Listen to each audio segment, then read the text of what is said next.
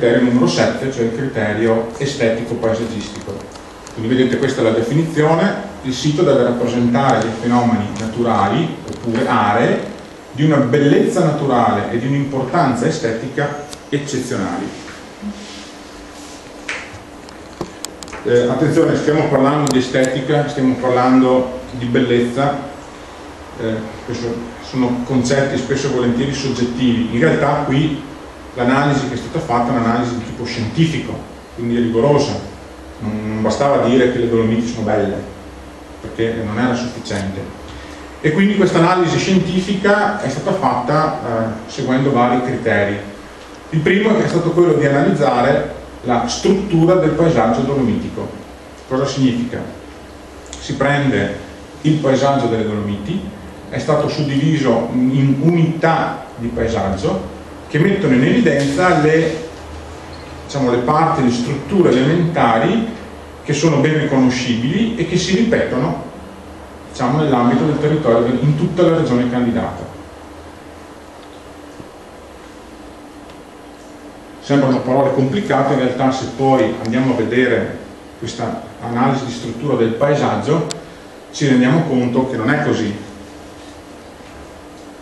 allora, le Dolomiti, il paesaggio delle Dolomiti qual è il minimo comune denominatore di queste zone? Beh, abbiamo dei basamenti, sono costituiti da, sono molto, eh, molto dolci, sono molto ondulati, sono spesso eh, costituiti da, da prati, da pascoli, da boschi, questo è il primo elemento. Il secondo elemento caratteristico abbiamo delle fasce detritiche, i cosiddetti ghiaioni, che eh, circondano la base delle grandi pareti carbonatiche. E il terzo elemento invece sono le pareti stesse, quindi abbiamo pareti perfettamente verticali, concetto di verticalità, di colore chiaro, con varietà di forme straordinarie, che hanno questa caratteristica di elevarsi improvvisamente e eh, anche stato inaspettatamente dal terreno. Quindi questi sono i tre elementi base, eh, le unità strutturali fondamentali del paesaggio dolomitico e comuni a tutti e nove i sistemi.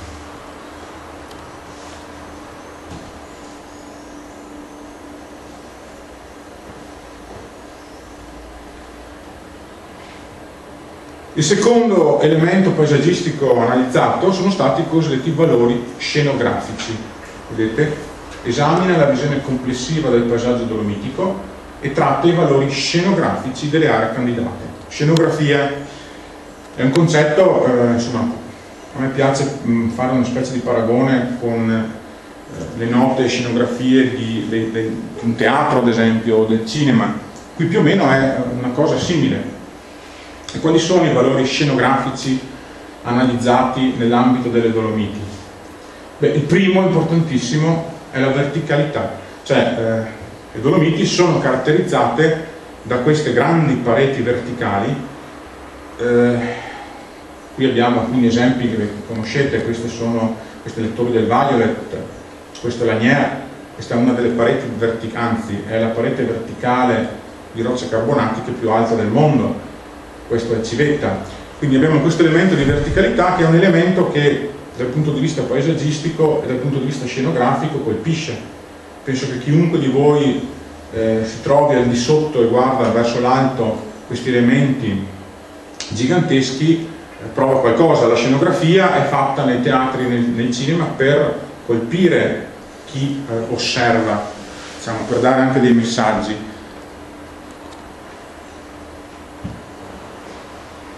Ecco, oltre ad avere questa verticalità straordinaria, nell'ambito delle Dolomiti abbiamo una varietà di forme, cioè queste sono montagne assolutamente non banali, non sono mai uguali l'una all'altra, vedete come cambiano, abbiamo queste grandi, queste fratturazioni, queste guglie, quindi eh, è un altro elemento scenografico importantissimo.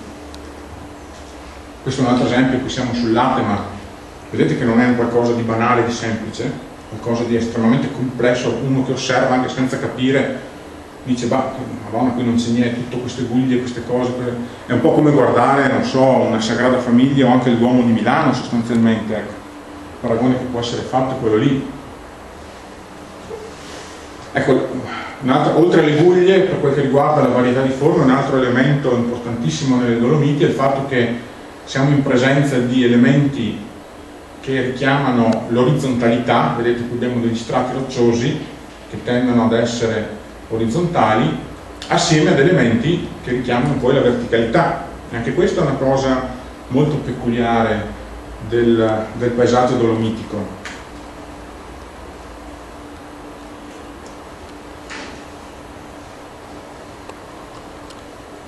Ecco, un altro valore scenografico che stato analizzato, molto importante interessante, è la cosiddetta monumentalità.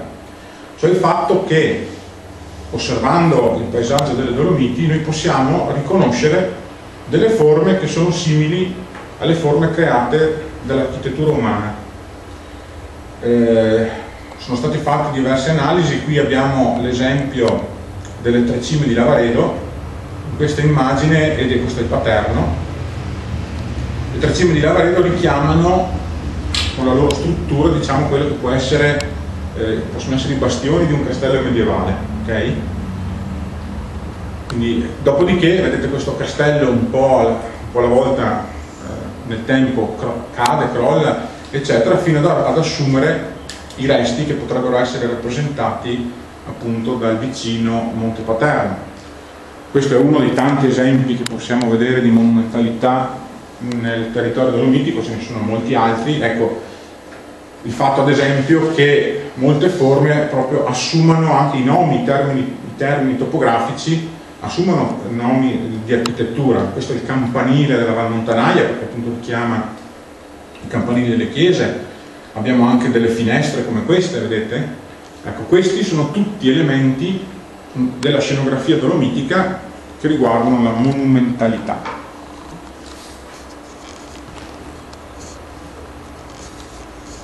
Bene, passiamo ad un altro aspetto della scenografia delle Dolomiti, che sono i colori. Anche questo analizzato in maniera rigorosa, le Dolomiti sono montagne caratterizzate da che cosa? Dai contrasti, contrasti di colori. Eh, contrasti che sono legati a tanti aspetti. Eh, questa immagine a destra vedete la, la tofana di Rozes, possono essere legati a, a, aspetti geologici, cui sono messe a confronto delle rocce di tipo carbonatico, formate da calcare o dolomia, che sono sempre di colore chiaro, con rocce ricche di elementi ferrosi, quindi rossi. Ma il contrasto di colori possono riguardare anche eh, diciamo, i, i, momenti eh, del giorno in cui la luce colpisce queste rocce, che cambiano, oppure anche la stagionalità, fatto che eh, la luce illumini queste montagne in inverno oppure in estate, questo è il cimone della Pala. Ecco, una delle cose più caratteristiche infatti delle Dolomiti è eh, l'erosadira, cioè quel fenomeno per cui queste pareti rocciose cambiano il loro colore a seconda se vengono colpite dalla luce all'alba oppure al tramonto. Qui abbiamo un esempio eh, di monti, un bellissimo esempio che parla dei monti pallidi, un altro dei termini con cui vengono identificate queste montagne, qui uno capisce anche il perché, all'alba,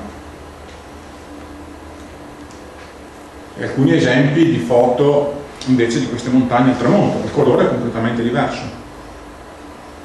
Questo è il Pelmo.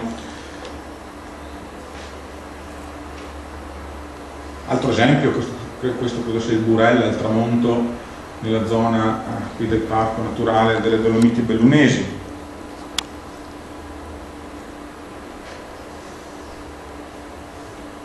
Come vi dicevo poi il fatto del, della stagionalità, quindi quando arriva la neve cambia ancora il colore. Questa è una foto notturna, vedete molto bella con la luna, qui ho messo abbiamo il cimone della pala, vedete, una visione diciamo così autunnale e una visione invernale. Quindi contrasto di colori, un altro elemento importantissimo della scenografia delle Dolomiti.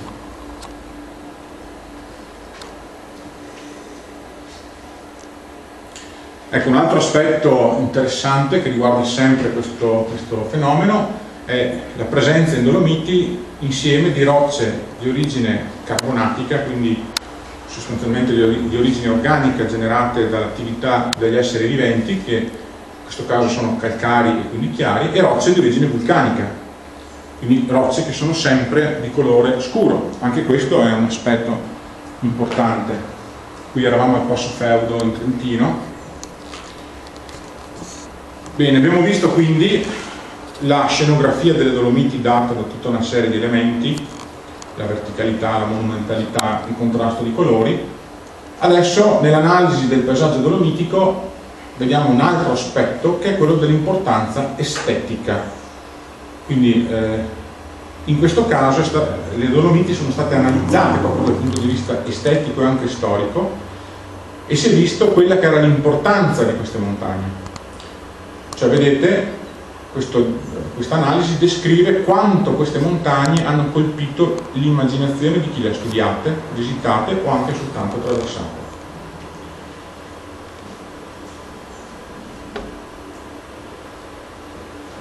Le Dolomiti sono importanti dal punto di vista estetico? Beh certo, una delle prove, una delle tante prove che sono state portate nel dossier, ad esempio è questa, cioè il fatto che nell'ambito di questo territorio, di queste montagne, siano sorte nel tempo una grande quantità di fiabe e di leggende. Questo perché? Perché queste montagne colpivano l'immaginazione di chi ci viveva nel passato. Quindi chi ci viveva le guardava, vedeva tutta una serie di fenomeni e anche naturali importanti, tipo ad esempio quello dell'erosadira, e da qui per spiegare questi fenomeni nascevano appunto fiabe e leggende.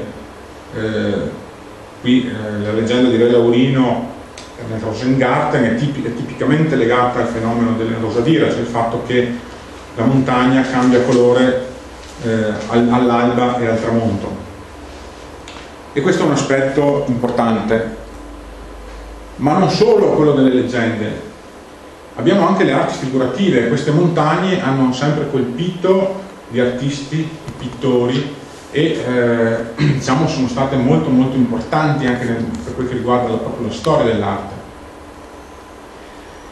Vedete per esempio qui abbiamo citato un importante scienziato von Humboldt che era anche all'epoca, stiamo parlando dell'Ottocento, erano comunque gli scienziati erano anche spesso umanisti, insigni umanisti e quindi quando ha visto queste montagne ha, detto, ha capito che erano eccezionalmente bellissime, eccezionali dal punto di vista estetico e scenografico e addirittura le ha paragonate alle montagne dipinte da Leonardo nella, come sfondo della Mona Lisa. Quindi queste montagne hanno rappresentato e rappresentano ancora qualcosa di straordinario dal punto di vista della, della pittura, del disegno, eccetera ma per quel che riguarda l'importanza estetica, beh, eh, sono stati fondamentali anche nell'ambito della scienza. Eh, spesso e volentieri gli scienziati, come vi ho detto prima, nel passato erano anche degli insigni umanisti, quindi venivano nelle Dolomiti non tanto perché erano attirati dalla loro importanza scientifica, ma dalla loro bellezza. Dopodiché scoprivano anche quella che era e hanno scoperto quella che, sta, quella che era ed è l'importanza scientifica di queste montagne. Uno di questi, per esempio, è quello che ha dato il nome alle Dolomiti, Deodato Dolomier, il quale eh, girando in quest'area, facendo un viaggio, appunto non tanto per, per studiare dal punto di vista scientifico, ma perché erano all'epoca stiamo parlando alla fine, agli inizi dell'Ottocento, cominciavano ad essere considerate delle montagne bellissime da, da, da visitare ad essere guardate, andando in queste zone lui ha preso su un sasso, ha visto che c'era qualcosa di particolare, lo ha portato in Francia, lo ha fatto analizzare e ha scoperto la Dolomia, la roccia che poi ha dato il nome a queste montagne.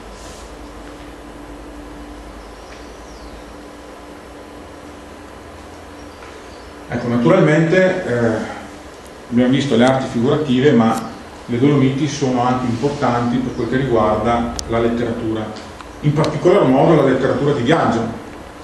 Essendo montagne bellissime, attiravano i viaggiatori, attiravano i primi alpinisti e questi scrivevano. Quindi eh, nell'ambito della letteratura diciamo, alpinistica eh, le Dolomiti, l'immagine estetica delle Dolomiti è stata molto molto importante.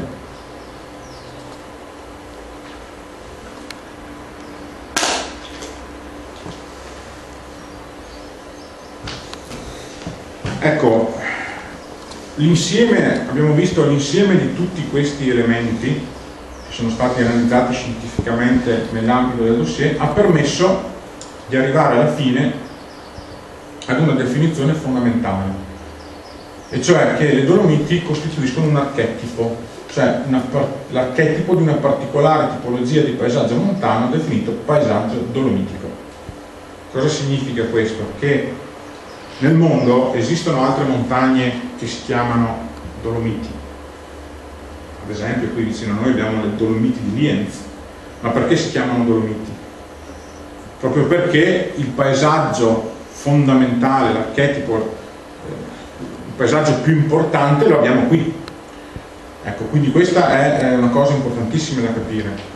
Ed è stato un altro degli elementi, diciamo, più importanti che hanno riguardato, che hanno, sono risultati vincenti, questo è stato dimostrato diciamo, scientificamente, eh, che sono stati risultati vincenti nell'ambito del dossier di candidatura. Eh, se ci sono delle cose che non capite, mi raccomando, poi potete anche tranquillamente interrompermi. Eh.